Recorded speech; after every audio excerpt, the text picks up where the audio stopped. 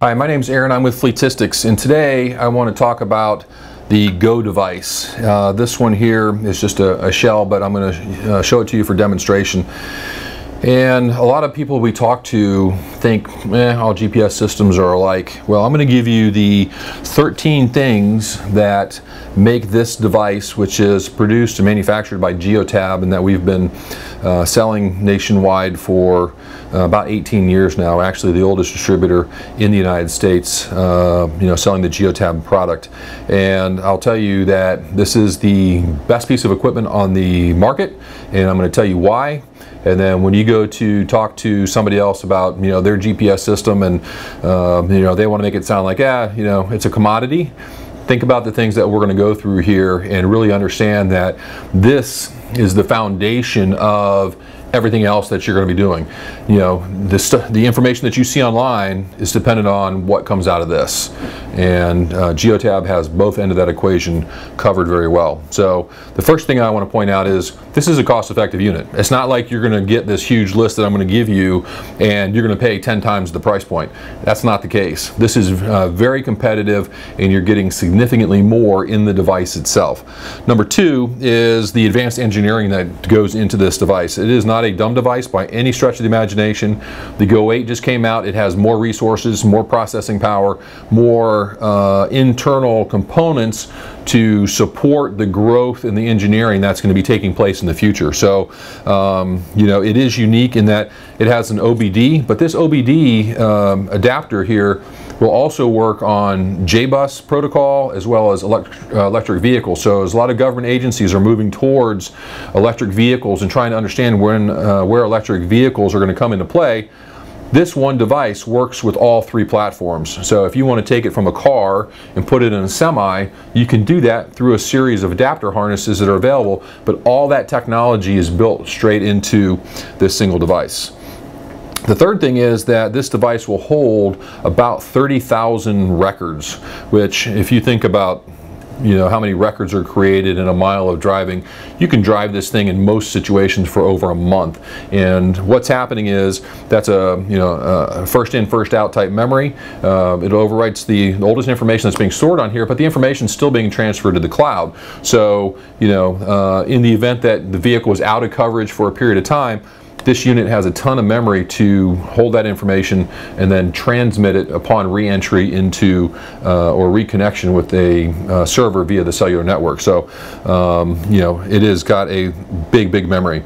Number four is the accident uh, detection. And this device has an accelerometer in here, and this is really like number four and five combined. There's an accelerometer in here that samples the vehicle's motion 100 times per second.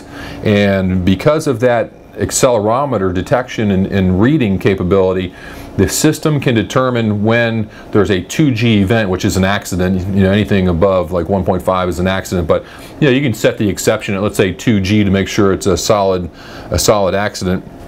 Um, that information then allows you to recreate the accident and you can look at the, the different axis of movement and determine whether or not the vehicle is going forward, how fast, did it come to an abrupt stop, uh, did it accelerate again, did it actually roll to the side, skid sideways. It's pretty amazing uh, when you look at the engineering reports on a couple of these accidents which, I, which I've seen and personally had my daughter in an accident when she had one of these, which got us out of an insurance claim. Uh, you know, to see what comes out of these, and we've got some great pictures. If you go to the website fleetistics.com and look in the menu structure, which I'll put in the video, you'll be able to see some pictures of accident reconstruction information. So take a look at that. Uh, number six is the modular harness. So I talked about the OBD harness, um, the uh, uh, OBD harness which allows you to extend the unit or move it from being directly in the OBD port. The wire harness lets you put it up in the dash so it's less accessible.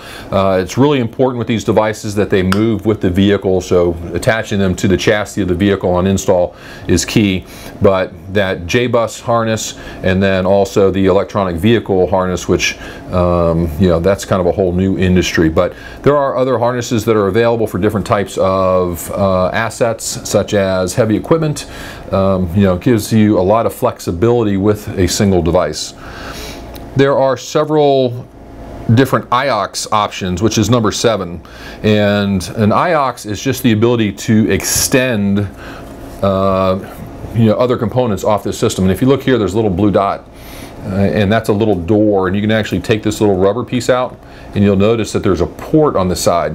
You can take what we call an IOX uh, connector which that IOX might have driver identification, it might have a GoTalk so if you want to tell the driver what exception they're created or creating, you can do that. And you can daisy ch chain a driver ID to a GoTalk device to, you know, um, a panic button to a Garmin ELD if that's necessary, those types of things. So you can customize the hardware configuration at the individual vehicle level using IOX, and that's very unique in the industry. I, I don't know, don't know of anybody else that gives you that flexibility. So when you have a big fleet and you want a single platform to work from, this is the way to go.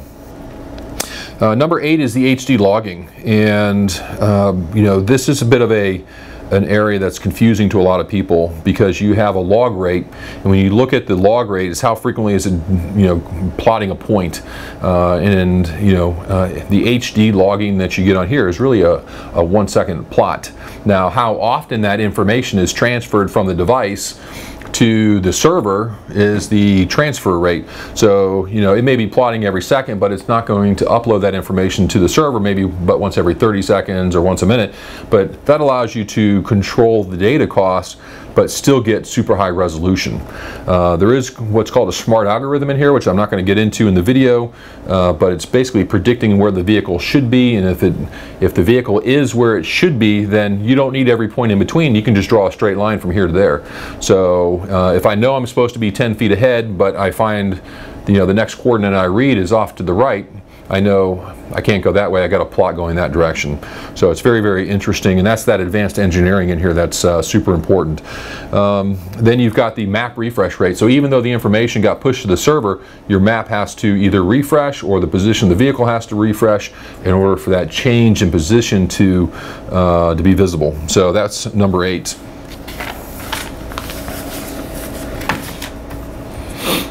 Number nine is the fact that you can have three different service plans with the same device. So uh, a command can be sent out to the device and we can put this device in essentially called base mode, uh, which is basic GPS tracking, which is great. Uh, still high resolution, still really good information, but you know, if you don't need accelerometer information, you, you don't need engine diagnostics, base mode is a great place to be. The next level up is Pro Mode. And Pro Mode introduces telematics, which is the accelerometer and some other information, as well as engine diagnostics. And the information that you get is essentially, it is the same as plugging a scan tool into the vehicle, except that all that information is being transmitted back to a central database so you don't have to run around and check every vehicle or try to get to a vehicle.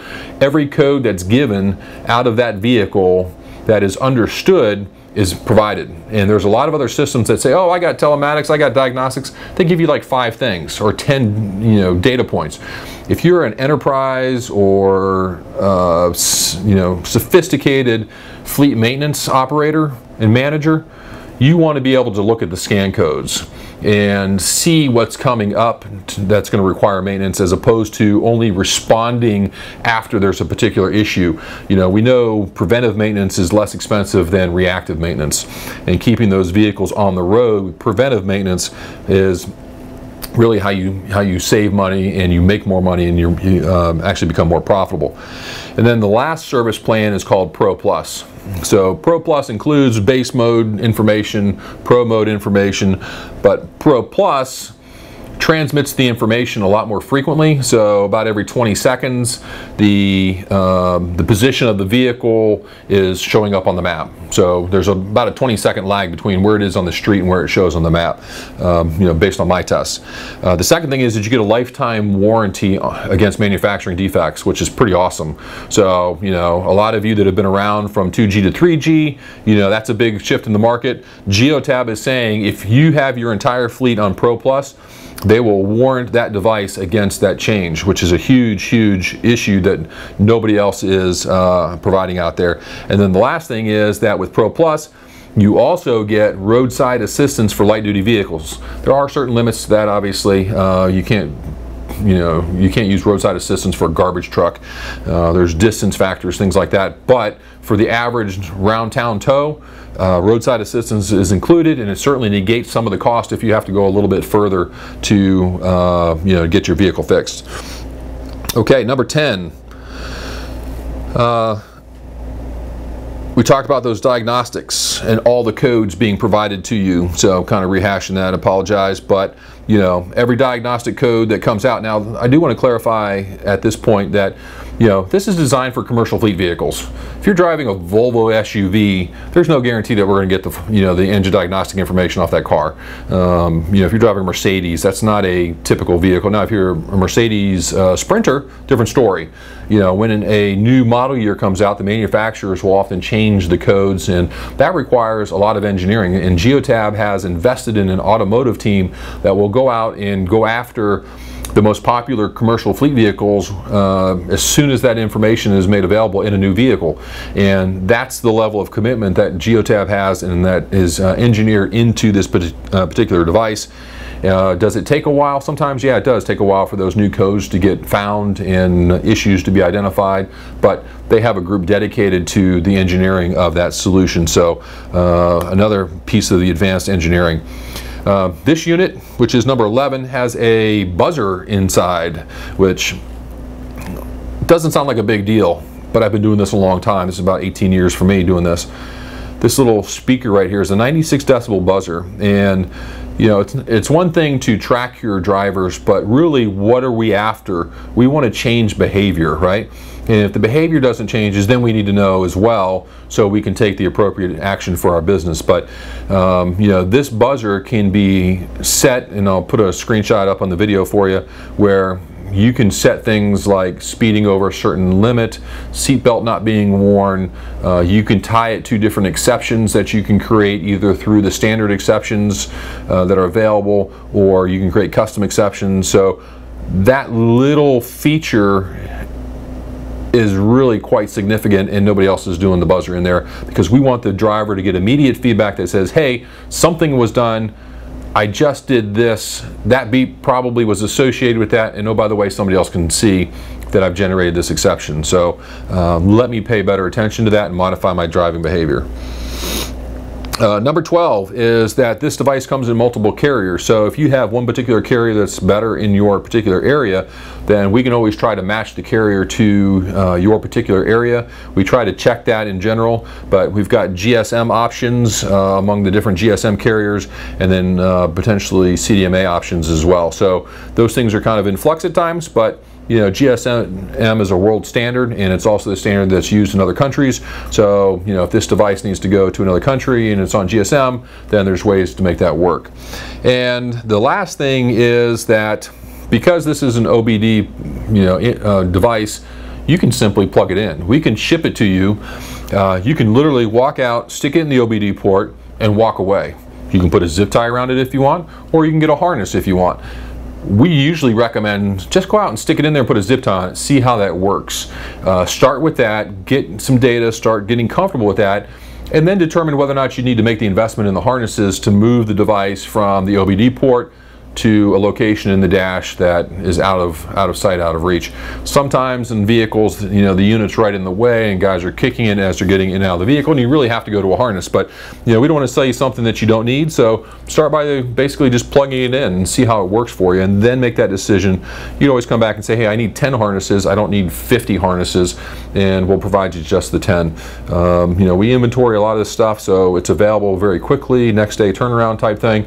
And, um, you know, uh, we do that as a convenience for our customers because sometimes you have an, a truck that's only going to be in for a short period of time and you got to get a component out to it and uh, we try to make sure that we can service our customers effectively. So um, if you enjoyed the list of 13 things about the Geotab uh, Go GPS tracker device, please like and share, um, you know, whether it be on YouTube or Facebook, and then pass this video link along and, you know, share it with the other people that you know. We appreciate the, the exposure, and uh, we'll be back on with some more great features of the Geotab platform.